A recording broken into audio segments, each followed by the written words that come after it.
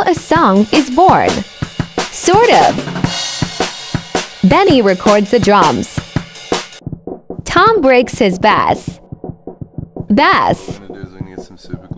Tom buys a new bass and records his bit. Ruben records the rhythm guitar. Jade records the lead guitar. I just don't know how to pronounce anything, do I?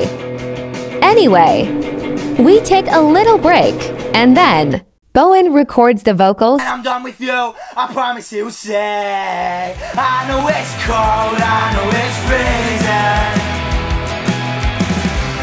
Zach mixes it and sends it off for mastering. And then the most important step.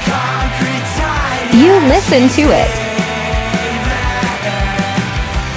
Spotify and bio. Let us know what you think.